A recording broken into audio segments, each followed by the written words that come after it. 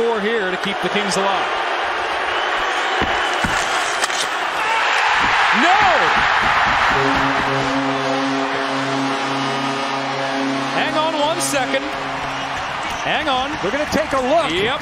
Going to go up and under. Yep, that's in. So the Kings have tied it up. Kempe knew. Mm-hmm. Kempe knew. It hits where the water bottle's there. Second shooter in round number six, Tyler Toffoli to win it for the Kings. Scores! And the Kings take this one in a shootout. Philadelphia's eight-game winning streak is over, and the Kings have won three in a row. A chance to win it here. Here's Anze Kopitar with a chance to win it. Dinks and scores! And the Kings. Kings win it two to one. And they snap a three-game here. Slowly in on goal. Huh. He scores. He outweighted Vasilevskiy, and the Kings lead 2 1.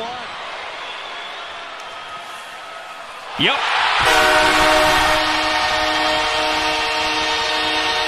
Got Miller moving. Here is Kovalchuk.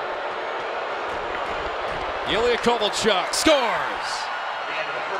Keep it simple, right? He takes the angle on the play.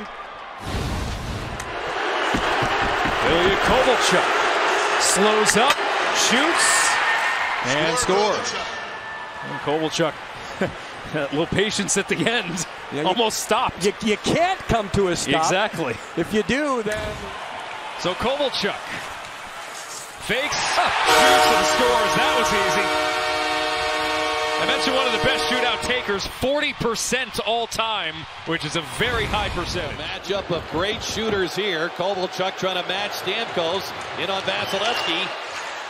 Scores! And Kovalchuk has made it 1-1 here in the shootout. And I don't think there's a lot of deception here either. Watch Kovalchuk come in. He keeps the puck moving, but watch this quickly to the back end. That move was too quick.